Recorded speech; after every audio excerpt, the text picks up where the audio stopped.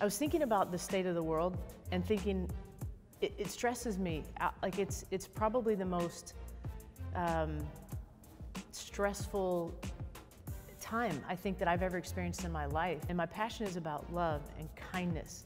And sports does that for us. Sports brings people together across the board. It could be basketball, soccer, football, whatever your sport is, because you can be of any race, gender, sexuality, it doesn't matter. Claire and I are working uh, as global directors for NBA International.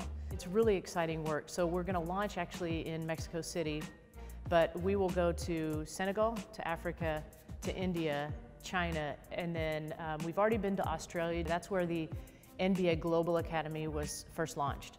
So it's so fantastic that the NBA is supporting the initiative worldwide um, as a part of the women's game.